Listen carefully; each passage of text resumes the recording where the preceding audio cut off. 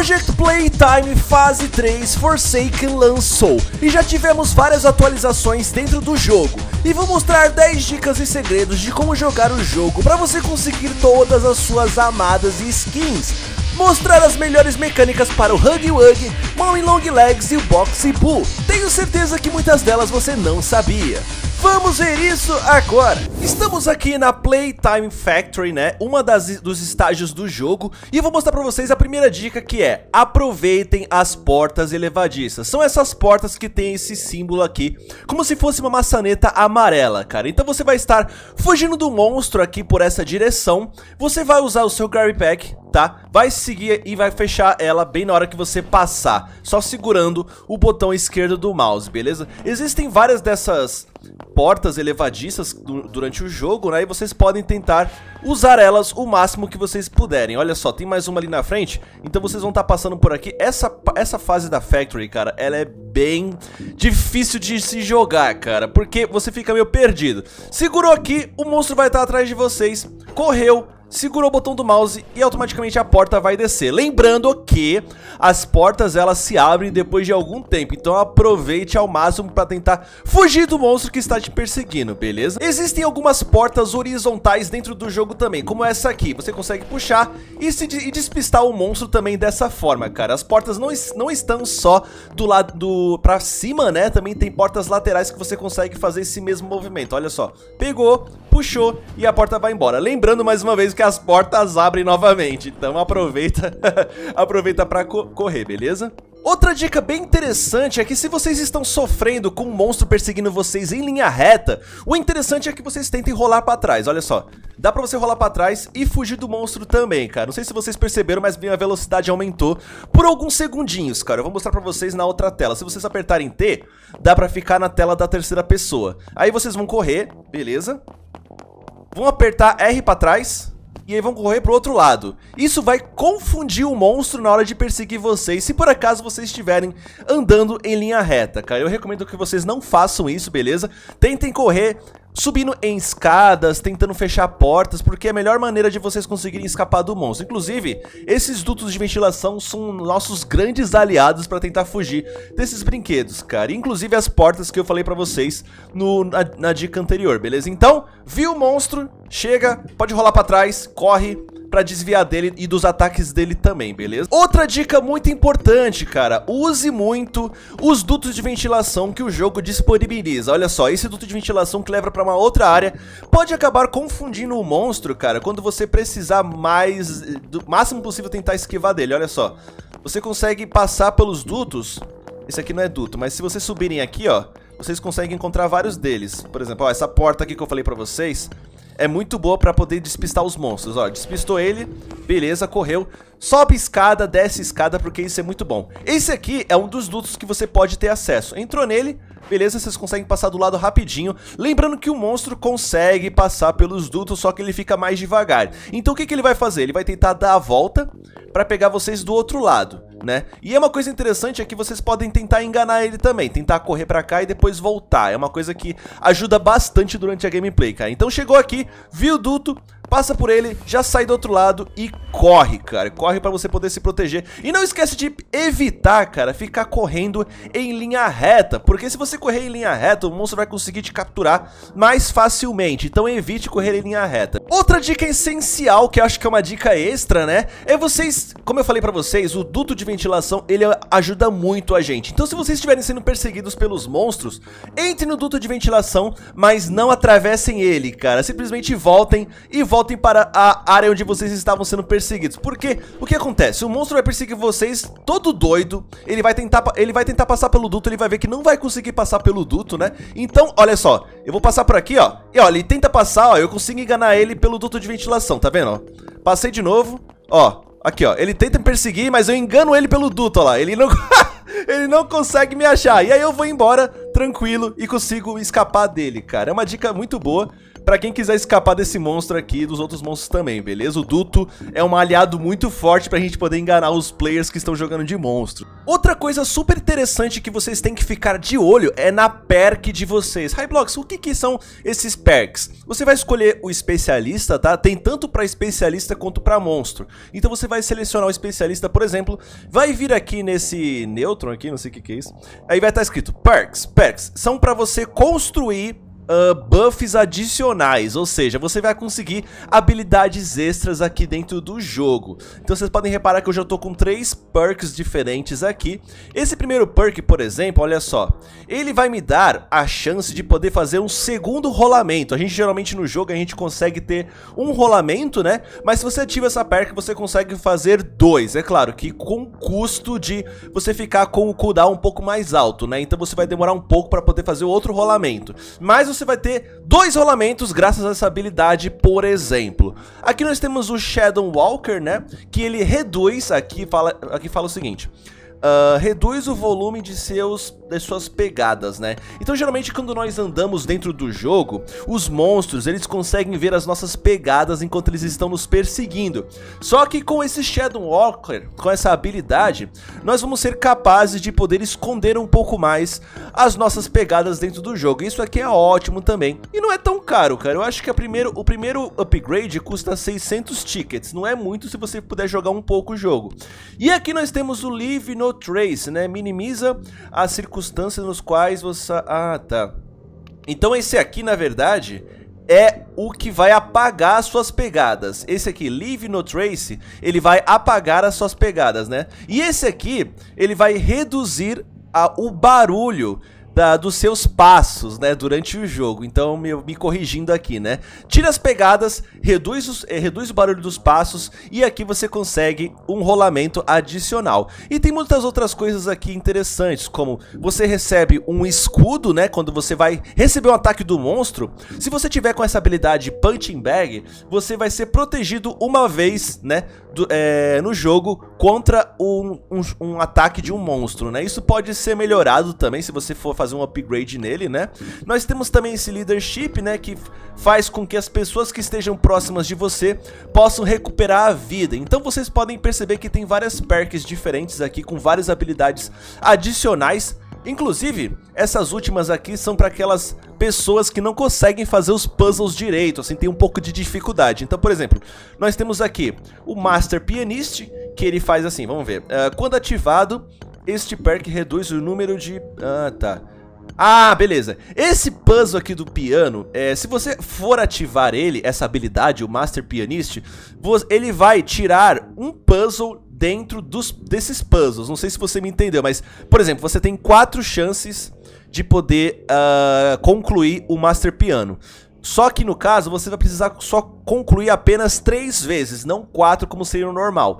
Isso se você tiver equipado esse Master Pianist, cara, olha só que legal. E as outras habilidades também fazem as mesmas coisas, elas ajudam, ajudam você de alguma forma a concluir o puzzle um pouco mais rápido, né? Então isso é muito bom. Então fiquem de olho nas perks que vocês quiserem colocar, tá? Pra vocês comprarem as perks é muito fácil, é só vocês terem os tickets que vocês recebem durante o jogo, seja ajudando os players, seja colocando os brinquedos dentro dos depósitos, fazendo coisas dentro do jogo que ajudem o time. E se você ajudar o time, com certeza você vai receber esses tickets que você vai conseguir comprar várias dessas perks diferentes, beleza? E não só os especialistas, mas como os monstros também têm perks diferentes, cara. Então você, se você for vir aqui, na verdade, não se chama perks, né? O dos monstros se chama sabotages, né? Sabotages que se fala, né? E essas, esses sabotages eles ajudam a gente em muitas coisas. Por exemplo, eu comprei, eu comprei esse aqui pro Hug Wug que se chama No Pack. Então aqui está. Quando você, quando o No Pack é ativado, todos os Grab Packs dos especialistas ficam temporariamente quebrados, cara. Isso é muito muito legal. Por exemplo, você tá fugindo de um, de um especialista, aliás, você tá fugindo de algum... perseguindo algum especialista, na verdade, né? E aí, de repente, você vê que o especialista vai fechar a porta com, com o grab pack dele. Aí, o que, que você faz? Você vem aqui, faz, compra esse no pack para você conseguir ativar a conseguir desativar o grab pack deles e ele não vai conseguir fechar a porta, cara. Simplesmente você vai conseguir capturar ele. Olha só que legal. E é uma habilidade muito boa também. Fora essas outras habilidades como No Escape, Feeding Freezing, Blood Trap. Então cada uma delas tem a sua peculiar... Nem sei falar isso aí. Cada, cada uma delas tem sua habilidade, né? Então, é, fica a dica aí se vocês quiserem equipar o monstro de vocês ou o seu personagem com uma desses atributos, com uma dessas habilidades, beleza? Agora eu vou explicar pra vocês, cara, basicamente a função de cada monstro aqui dentro do jogo, quais são as suas habilidades e dicas também que vocês podem usar para poder aproveitar o máximo de cada monstro, né? No momento nós temos aqui o Huggy Wuggy, nós temos a Mommy Long Legs e também temos o Boxy Boo, tá? Então vamos começar vendo as dicas do Huggy Wuggy. Estamos aqui na Playtime Factory, né? E nós estamos com o Huggy Wuggy. Vamos ver agora algumas dicas de como conseguir jogar com o Huggy Wuggy de uma forma legal. O Huggy Wuggy ele tem duas habilidades, ele pode correr mais rápido com o Shift e podemos usar os Mini Huggy Wugs para tentar vigiar uma área, cara. Então nós temos aqui os Mini Huggy Wugs, eles ficam numa área e toda vez que eles verem algum player, né, algum especialista, eles vão começar a gritar e aí esse grito vai aparecer na nossa tela, cara, e vocês vão perceber na hora. Olha só, tem gente aqui já fazendo puzzle, vocês vão atrás dos caras com puzzle aqui, ó. Eu, eu acho o Huggy Wug, ele é um pouco mais território, né, cara? Ele é um pouco mais territorialista, ele não é tão monstro de perseguir, olha só. É, o cara acabou fechando ele mesmo. o cara acabou fechando ele mesmo. Ó, eu vou tentar pegar ele aqui. Beleza, mais uma. Aqui acho que são três... São três vezes tem que bater no, no player, ó. Mais uma. Vamos ver se eu consigo. Ó, peguei. Aí ele parou bem em cima do, do depósito. Já coloco ele aqui, beleza? Quando vocês capturarem um player, já aproveita e coloque um Hug Wug em cima, porque ele vai começar a vigiar esse lugar pra vocês. E essa é a melhor coisa que vocês podem fazer. Agora vocês vão fazer o seguinte, vão olhar todos os lugares com os puzzles, vão ver se os caras estão por aqui, vão dar uma olhada pra cá... Olha só, não tem ninguém por aqui, mas vocês vão ficar olhando os puzzles e quando puder, coloquem um Hug Wug no puzzle para poder vigiar para vocês, né? Que é a melhor coisa que vocês podem fazer. E aqui, vamos ver, ó, acabou de aparecer, o especialista está sendo resgatado, aí você vai ter que correr lá. Olha lá, vai ter que correr lá, vai ter que correr lá. Aqui, aqui, ó, tá, tá fugindo de mim, tá fugindo de mim. Vou pegar ele de novo, ó, vou pegar ele de novo, bati uma vez, bati uma vez. Vamos ver se eu conseguir bater outra. Bati mais uma vez. Beleza. Ah, ah, não. Não, não, não, volta aqui. Pera aí, ele vai tentar descer, beleza. Olha lá, ele vai tentar fechar. Desativei aqui o grab pack dele. Desativei o grab pack dele, cara, com a habilidade que eu mostrei pra vocês antes. Que desativa grab packs. E agora eu vou colocar ele no depósito, olha só. Muito tranquilo, né? Então essas são mais ou menos as dicas de Hug Wug que vocês têm que ter em, em, na cabeça, né? Colocou aqui o Hug Wug, onde você acabou de capturar o cara e pode continuar seguindo. Então não é muito difícil jogar de Hug Wug, apesar de ele ser um monstro mais de vigiar os puzzles, né? Ele mais vigia do que persegue, né? E aí você consegue jogar e capturar todos os caras, né? Vamos agora jogar no Theater, né, Extraction junto com a Mommy Long Legs, cara. A Mommy Long Legs é um monstro um pouco mais furtivo, né, ela se esconde mais do que qualquer outra coisa, mas ela também é muito boa na perseguição. Por exemplo, esse estágio aqui do teatro, geralmente o que eu faço é o seguinte, eu subo aqui com a mão dela e vocês podem reparar que ela consegue ficar bem no alto, olhando todas as pessoas que passam aqui, todos os especialistas, cara. Inclusive, aqui no alto a gente pode tentar usar a habilidade dela de olho e a gente consegue ver o que, que eles estão fazendo. Olha só, tem alguns fazendo é, puzzle ali, ó. Se vocês virem aqui, ó, dá pra gente tentar capturar um. Aqui, ó. Acho que ele tava aqui. Então, vocês vão tentar se esconder é, pra poder pegar os caras de surpresa, velho. É a melhor coisa que tem. E é muito divertido, cara. Olha só. Um cara tá fazendo puzzle aqui, ó. Ó, peguei aqui, ó. Beleza. Joguei ele aqui. Agora o que, que eu vou fazer? Vou mostrar uma coisa pra vocês. Eu vou levar ele. Deixa eu ver se eu consigo levar ele até lá. Até o depósito ali na frente. E vou tentar vigiar ele. Aqui, ó. Beleza. Joguei aqui. Subi. Vou ficar aqui em cima. Alguém vai tentar resgatar ele, cara. E quando isso acontecer, eu vou simplesmente pular em cima do cara aqui. Vamos ver se isso vai dar certo, ó. Vamos ver. O pessoal tá fazendo puzzle, né? Eu acho que eu tenho que forçar eles a sair do puzzle, talvez. Cara, mas se você olhar aqui de cima, olha só. Consegue ver o mapa inteirinho. Ah, os caras estão resolvendo o puzzle. Vamos lá. Vamos lá pra cima deles. Se os caras não vierem pra, pra, pra essa parte da fase, não tem problema. Vai lá e tenta fazer com que eles é, ajudem o amigo deles, né? Olha lá. Já peguei mais um. Beleza? Já foi dois. Agora eu vou colocar o próximo lá perto, né? Não sou besta. Vou colocar ele perto aqui da, do depósito, desse depósito aqui mesmo, ó. Aqui, ó. Vamos pegar, vamos pegar e colocar ele aqui, ó. Ele é aqui em cima, deixa eu ver se eu consigo. Ai, caramba, eu tenho que dar a volta. Ixi, pera aí, acho que ele vai se libertar. Tem que ser rápido, senão o cara se liberta e você não consegue colocar ele mais em nenhum lugar. Aqui, beleza, coloquei. Agora são dois que estão presos, ó. Você vai ficar aqui em cima. vai ficar bem aqui em cima esperando o cara chegar pra poder pegar ele, ó. Vou usar meu olho. Olha lá, ó, tá vindo, tá vindo, tá vindo, ó. Ele tá vindo nessa direção. Assim que ele vir, eu vou pular em cima dele. Ó, atenção. Ele vai vir por aqui, eu acho, hein? Vamos ver se isso vai dar certo. Ah lá, lá. Ele vai tentar resgatar. Pulei. Peguei ele. Peguei, peguei, peguei. Ó, peguei de surpresa. Ele tomou um susto, hein? Ele tomou um susto. e aí, peguei todos, velho. Simplesmente peguei todos porque eu fiquei escondido o tempo inteiro e eles não perceberam a minha presença, cara. E todos eles acabaram de base. então é muito tranquilo você jogar de Legs, principalmente nessa fase do Toy do Toy Factory, né? É, na verdade é do Theater, né? Do teatro. A fase do teatro junto com a Mommy Long Legs é muito bom, cara. É uma das melhores fases que tem pra ela. Estamos em Playtime Factory, cara, e vamos jogar agora com o Boxy Boo. Na minha opinião, cara, o Boxy Boo é um dos monstros preferidos pra quem quiser perseguir os especialistas, cara, porque ele é muito bom pra poder perseguir os outros. As habilidades do Boxy Boo são duas. A primeira é o puxão, você pode puxar os outros jogadores com o botão direito, né? Se eles estiverem mais ou menos perto, né? É muito muito bom pra quem tá perseguindo um especialista em linha reta como aquele ali, ó. Ó, eu vou tentar puxar ele, vamos ver se eu consigo. Ó, indo atrás dele, bati, ó, bati, bati uma vez. Bati uma vez, bati outra, bati mais uma, ó, vou puxar ele. Puxei, bati, beleza. Ó, ele tá tentando me enganar. Ó, bati de novo. Aí, peguei. Essa habilidade da mão dele do lado direito é muito boa pra vocês puxarem os outros especialistas, cara. É muito boa mesmo. Vamos colocar o cara aqui no depósito, beleza.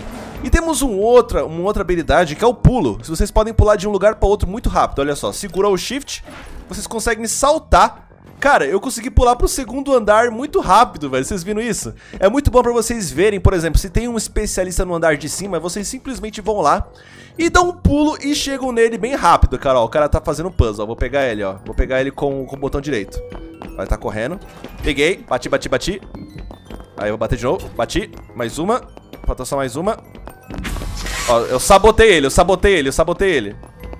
Bati mais uma. Aí. Bati mais uma. Caramba.